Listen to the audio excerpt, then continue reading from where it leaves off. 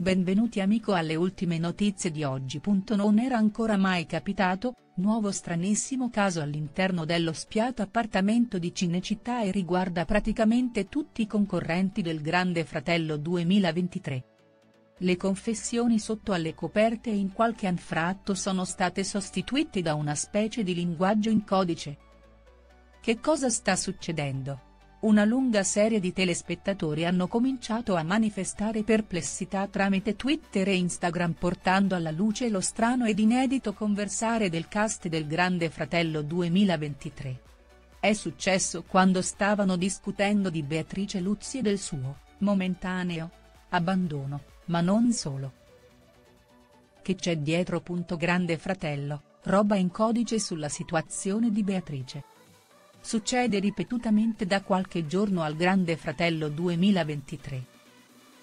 In salotto, nella stanza da letto, nella sauna, giardino, salotto, cucina, insomma, ovunque si è palesato lo strano linguaggio, ideato dagli stessi concorrenti in gioco.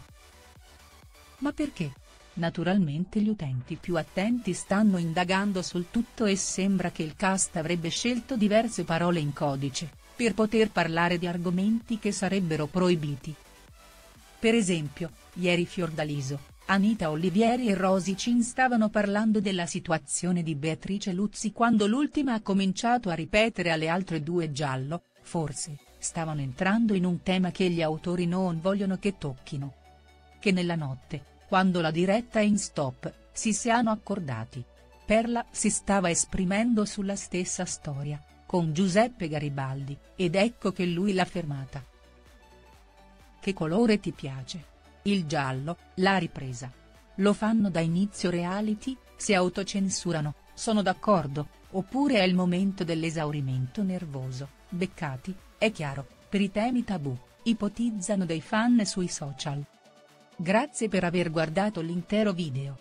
Metti mi piace e commenta la tua opinione in modo che possiamo discutere.